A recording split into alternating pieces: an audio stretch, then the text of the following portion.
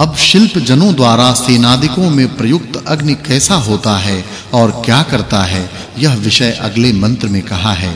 भावार्थ, जब विमानों के चलाने आदि कार्यों में ईंधनों से अच्छे प्रकार प्रयुक्त किया अग्नि जलता है, तब उसके दो प्रकार के रूप देखने पड़ते हैं। एक चमकदार दूसरा काला, इसी से अग्नि को श्याम कर्णाश्व कहते हैं। जैसे घोड़े के सिर का कान दिखते हैं, वैसे अग्नि के सिर पर श्याम कज्जल की शिखा होती है। यह अग्नि कामों में अच्छे प्रकार प्रयुक्त किया हुआ, बहुत प्रकार के धन को प्राप्त कराकर प्रजाजनों को आनंदित करता है। फिर वह कैसा है? यह विषय अगले मंत्र में कहा है। भावार्थ, जब विद्वान उत्तम प्रीति के साथ उपदेशों को करते हैं, तब अज्ञानी जन विश्वस्त होकर उन उपदेशों को सुन, अच्छी विद्याओं को धारण कर, धनाढ्य होके आनंदित होते हैं। फिर वह क्या करें?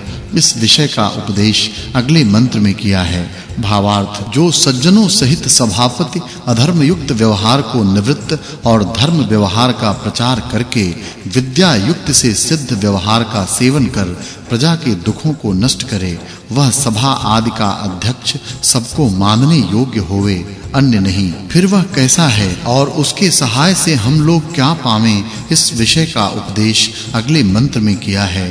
भावार्थ, मनुष्यों को चाहिए कि जो नित्य विद्या देने वाला है उसकी सोधेपन से सेवा करके विद्याओं को पाकर मित्र, श्रेष्ठ आकाश, नदियों, भूमि और सूर्य आदि लोकों से उपकार ग्रहण करके सब मनुष्यों में सत्कार के साथ रहना चाहिए। कभी विद्या छिपानी नहीं चाहिए, किंतु सबको यह प्रकट करनी चाहिए। इस सुक्त में सभा आदि के अधिपति, ईश्वर और पढ़ने वालों के गुणों के वर्णन से इस सुक्त के अर्थ की पूर्व सुक्तार्थ के साथ एकता समझनी चाहिए। यह 100वां सुक्त और 11वां वर्ग पूरा हुआ। अब 101वें सुक्त का प्रारंभ है। उसके प्रथम मंत्र में शाला का अधीश कैसा होवे, यह विषय कहा है? भावार्थ मनुष्यों को चाहिए कि जिससे विद्या लेवें, उसका सत्कार, मन, वचन, कर्म और धन से सदा करें। और पढ़ाने वाले को चाहिए कि जो पढ़ाने योग्य हो, उसे अच्छे यत्न के साथ उत्तम उत्तम शिक्षा देकर विद्वान करें। सर्वदा श्रेष्ठों के साथ मित्र भाव रख, उत्तम उत्तम कामों में चित्त वृत्त की स्थिरता रखें। अब सभा और सेना का अध्यक्ष क्या करे? यह विषय अगले मंत्र में कहा है। भावार्थ मनुष्यों को चाहिए कि जो प्रचंड क्रोध से दुष्टों को मारकर विद्या की उन्नति के लिए ब्रह्मचर्यादि नियमों को प्रचारित, मूर्खपन और खोटी सिखावटों को रोक के, सुख के लिए निरंतर अच्छा यत्न करे, उसी को मित्र माने। अब ईश्वर और सभाध्यक्ष कैसे-कैसे गुण वाले होते हैं, यह विषय अगले मंत्र में कहा है। भावार्थ, इस मंत्र में श्लेषा अलंकार है। मनुष्यों को चाहिए कि जिस परमेश्वर के सामर्थ्य के बिना पृथ्वी आदि लोकों की स्थिति अच्छे प्रकार नहीं होती, तथा जिस सभा अध्यक्ष के स्वभाव और बर्ताव की प्रकाश के समान विद्या, पृथ्वी के समान सहनशीलता, चंद्रमा के तुल्य शांति, सूर्य के तुल्य नीति का प्रकाश और समुद्र के समान गंभीरता है, उसको छोड़ के औरों को अपना मित्र न बनावें। अब सभाध्यक्ष कैसा होता है? इस विषय को अगले मंत्र में कहा है। भावार्थ, यहाँ वाचक् लुप्तोपमा अलंकार है। मनुष्यों को चाहिए कि जो सबकी पालना करने वाला जितेंद्रिय, शांत और जिस जिस कर्म में सभा की आज्ञा को पावे उसी उसी कर्म में स्थिर बुद्धि से प्रवर्तमान, बलवान, दुष्ट शत्रुओं को जीतने वाला हो, उसके साथ निरंतर मित्रता की संभावना करके सुखों को सदा भोगे। अब सेना अध्यक्ष कैसा होता है? यह विषय अगले मंत्रों में कहा है। भावार्थ, पुरुषार्थ के बिना विद्या अन्न और धन की प्राप्ति तथा शत्रुओं का पराजय नहीं हो सकता। जो धार्मिक सेना अध्यक्ष सुहृद भाव से अपने प्राणों के समान सबको प्रसन्न करता है, उस पुरुष को निश्चय है कि कभी दुख नहीं होता। इससे उक्त विषय का आचरण सदा करना चाहिए। भावार्थ जो परमात्मा और सेना का अधीश सब लोगों का सब प्रकार से मेल करता है, वह सबको सेवन करने और मित्र भाव से मानने के योग्य हैं। भावार्थ, जिन मनुष्यों द्वारा प्राणायामों से प्राणों को, सत्कार से श्रेष्ठों और तिरस्कार से दुष्टों को, वश में कर समस्त विद्याओं को फैलाकर परमेश्वर व अध्यापक का अच्छे प्रकार मान सत्कार करके, उपकार के साथ सब प्राणी सत्कार युक्त किए जाते हैं, वे सुखी होते हैं। अब शाला आदि का अधिपति कैसा है, इस विषय को अगले मंत्र में कहा है। भावार्थ, मनुष्यों को चाहिए कि जो विद्वान सर्वत्र आनंदित कराने और विद्या का देने वाला सत्य गुण, कर्म और स्वभाव युक्त है, उसके संग से निरंतर समस्त विद्या और उत्तम शिक्षा को पाकर सर्वदा आनंदित होवें। भावार्थ विद्वानों के संग के बिना निश्चय ही कोई ऐश्वर्य और आनंद को नहीं पा सकता है। इससे सब मनुष्य विद्वानों का सदा सत्कार कर इनसे विद्या और अच्छी-अच्छी शिक्षाओं को प्राप्त करके सब प्रकार से सत्कार युक्त होवें। फिर सेना आदि का अध्यक्ष क्या करे? यह विषय अगले मंत्र में कहा है। भावार्थ, सेनापति को चाहिए कि सेना के समस्त अंगों को पूर्ण बलयुक्त और अच्छी-अच्छी शिक्षा दे।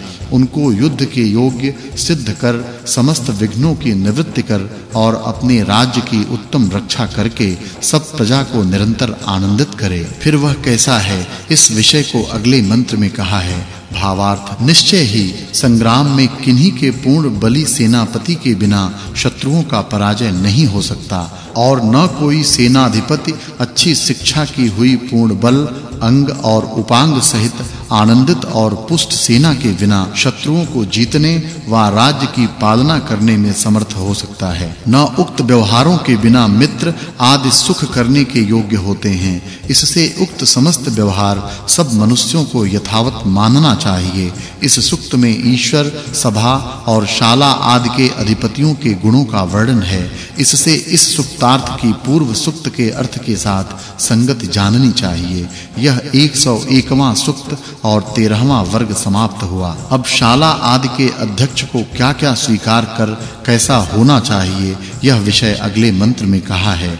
भावार्थ, सब मनुष्यों को चाहिए कि सब धार्मिक विद्वानों की विद्या, बुद्धियों और कामों को धारण और उनकी स्तुति कर उत्तम उत्तम व्यवहारों का सेवन करें। जिनसे विद्या और सुख मिलते हैं, वे विद्वान जन सबको सुख और दुख के व्यवहारों में सत्कार युक्त करके ही सदा आनंदित करें। अब ईश्वर और अध्यापक के कामों से क्या होता है? यह विषय अगले मंत्र में कहा है। भावार्थ। इस मंत्र में श्लेषा अलंकार है। परमेश्वर की रचना से पृथ्वी, आदि लोक और उनमें रहने वाले पदार्थ अपने-अपने रूप को धारण करके सब प्राणियों के देखने और श्रद्धा के लिए हो और सुख को उत्पन्न कर गमना गमन के निमित्त होते हैं।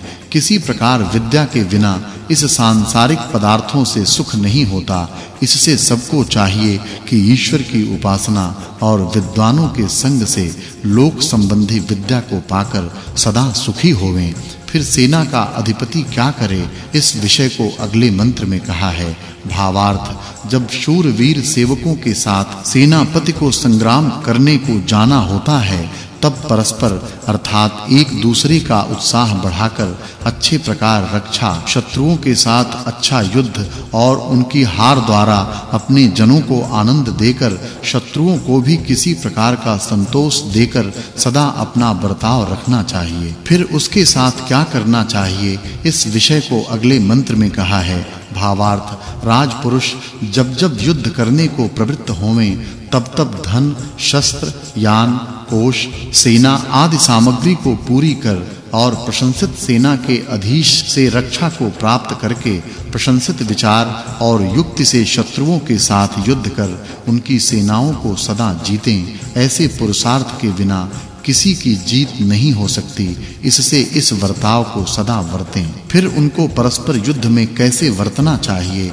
यह विषय अगले मंत्र में कहा है। भावार्थ, जब मनुष्य युद्ध आदि व्यवहारों में प्रवृत्त होवें, तब विरोध, ईर्ष्या, डर और आलस्य को छोड़कर एक दूसरे की रक्षा में तत्पर हो, शत्रुओं को जीत और जीते हुए धनों को बांटकर सेनापति आदि लड़ने वालों की योग्यता के अनुकूल उनके सत्कार के लिए देवें, जिससे लड़ने का उत्साह आगे भी बढ़े। सर्वथा न देना अप्रियकर और देना प्रसन्नता करने वाला होता है। यह विचार कर सदा उक्त व्यवहार को वर्तें। फिर वह सेनापति कैसा हो, यह विषय अगले मंत्र में